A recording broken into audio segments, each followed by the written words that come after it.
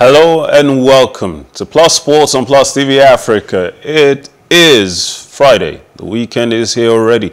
And I'm sure many of you can't wait to get off work because uh, TGI Friday, right? My name is Mikhail Tinubu, and it's always a pleasure to bring you all the latest sports news from around the world.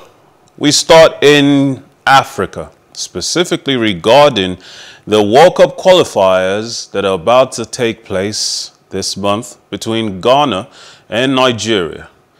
According now, with um, COVID-19 still being a reality that we're facing, in a statement, attendant, in, in a statement titled Attendance of Football Fans to Various Stadia, the Ministry of Youth and Sports made clear that football fans who uh, wish to enjoy their favorite game at various league centers, including the game between Ghana Black Star and uh, Nigerian counterparts at the Cape Coast Sports Stadium on March 25, 2022 must ensure strict adherence to all COVID-19 safety protocols put in place by the government.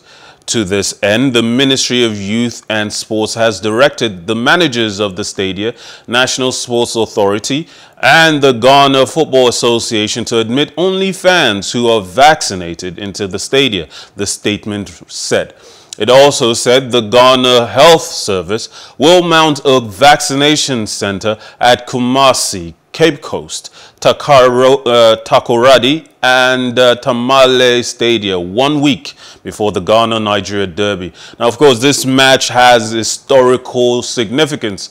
And while Ghana have done poorly, did do very poorly in the recently concluded Nations Cup, they might bring a greater urgency to this game given the nature of the rivalry they've shared with Nigeria for decades, since about 1951.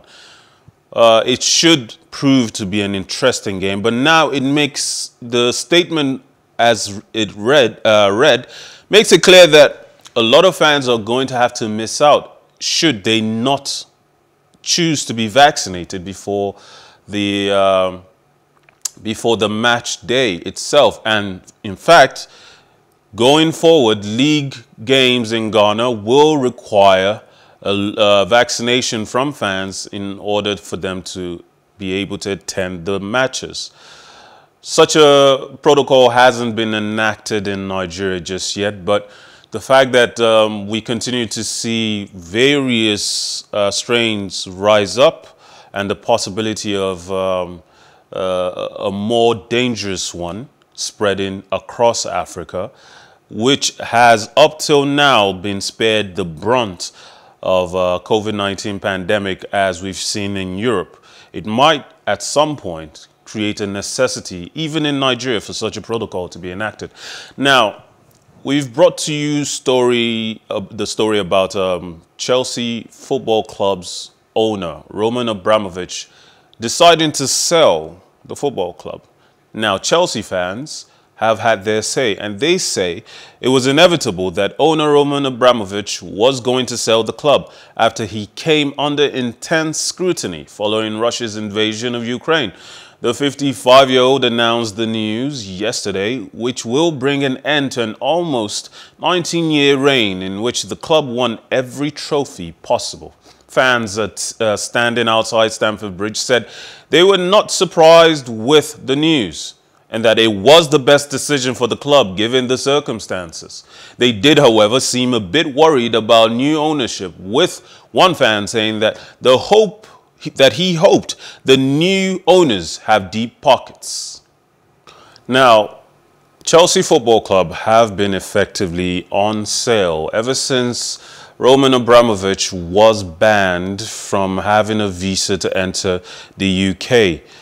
Um, the fact is, the um, UK government, ever since the assassination um, of a former Russian national, former Russian spy living in the UK by uh, the administration of Vladimir Putin, the Roman Empire has come under greatest scrutiny and up until now it hadn't been officially announced and it had in fact derailed plans, previous plans of renovating Stamford Bridge, a cost of which would have amounted to about 2.6 billion pounds. Those plans were shelved as soon as Roman Abramovich, who also simultaneously owns uh, an Israeli national passport, uh, was barred from entering the UK and since then hasn't been able to actually visit or um, come to the grounds to watch the match in Stamford Bridge. Now, meanwhile, the aftermath, in the aftermath of Russian billionaire Roman Abramovich's decision to sell Chelsea Football Club following Russia's invasion of Ukraine, the English Premier League's chief executive Richard Masters has backed the 55-year-old's decision to sell, calling his continued ownership unsustainable amid growing calls for Abramovich to be hit by sanctions after Russia's invasion of its neighbor. The metals uh, magnate said in a statement on Wednesday that a sale was in the best interest of the reigning champions, uh, European champions and world soccer champions. Uh, Masters welcomed Abramovich's search for a new owner for the London club, but cautioned that sales normally take several weeks. Masters also said that as a consequence of events in Ukraine that Russian President Vladimir Putin has called a special military operation the Premier League's broadcasting deal to show the division on Russian television is under review. The Russian rights for the current season are owned by a company called Rambler and broadcast on streaming platform Okko with Match TV owned by energy giant Gazprom, then set to start a six-year deal from 2022-2023 commercial contracts with Russia in all sectors are under scrutiny at the moment. The European Super League seems to have made a comeback in the news. Uh, Andrea Agnelli insists that a European Super League breakaway attempt last April was not a failure and defended his views during a Financial Times Business of Football summit in London on Thursday. March 3rd. The Juventus chairman was part of a management group aiming to form a 12-team European Super League that led to extensive criticism amongst the football fraternity. Initial plans eventually fell through when Premier League sides Arsenal, Chelsea, Liverpool, Manchester City, Manchester United and Tottenham Hotspur all opted out following fan pressure and protests. To me, it's not a failure. We've been hearing projects of potential breakaway leagues ever since I was probably a teenager. Last year, it was the first time 12 teams made a statement, and it was a very important statement, which was a profound shout of alarm to the system. We have to do something to create a sustainable industry, said Agnelli. Agnelli added that 11 of the 12 contracts signed are still binding while advocating for an open and transparent system opposed to UEFA's governance, who he described as a monopolistic operator and gatekeeper.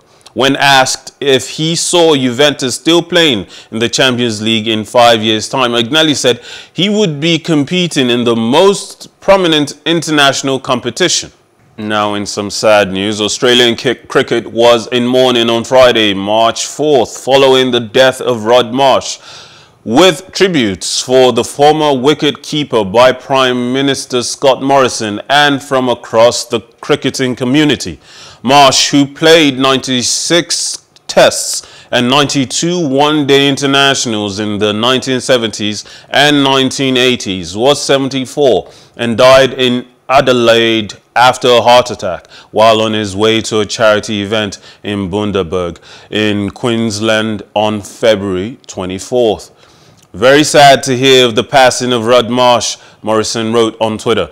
As a kid, he was my favorite player. He was part of one of the most exciting eras in Australian and world cricket. He will be remembered as one of Australia's greatest ever Test cricket players. Regarded as one of Australia's finest wicket keepers, Marsh retired in 1984 with a uh, then world record tally of 355 dismissals.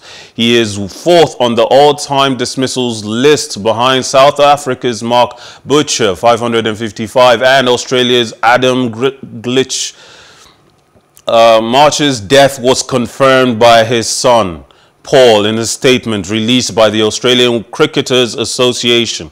March made his test debut against England in November 1970 and scored 3,633 test runs during a career that lasted more than 13 years. The Western Australian famously combined with fast bowler Dennis Lillee to take 95 wickets during the pair's career together it's a really sad one for Cricket Australia. No matter how old these legends get, it will still always be a shock to our collective system. Now, Australian cricket captain Pat Cummins has paid tribute to Rod Marsh after the former Australian wicketkeeper Rod died on Friday.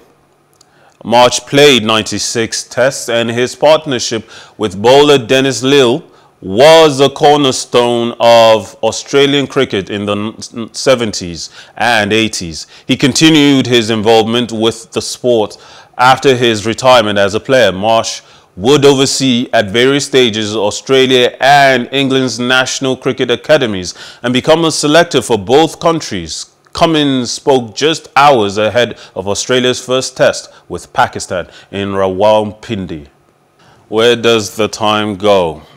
Unfortunately, we also have to ask that question right here because uh, we've run out of time. And while it's always a pleasure to bring you all the latest sports news from around the world, um, there's more programming coming up right here on Plus TV Africa. This has been Plus Sports on Plus TV Africa. My name is Mikhail Tinubu. As always, as I leave you, I'd like to remind you that life is never boring with some sports. Have a wonderful day.